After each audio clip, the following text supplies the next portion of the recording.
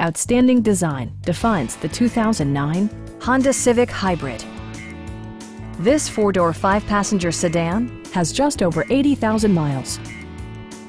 It features a continuously variable transmission, front-wheel drive, and an efficient four-cylinder engine. Honda prioritized practicality, efficiency, and style by including one-touch window functionality, a tachometer, variably intermittent wipers, turn signal indicator mirrors, and power windows.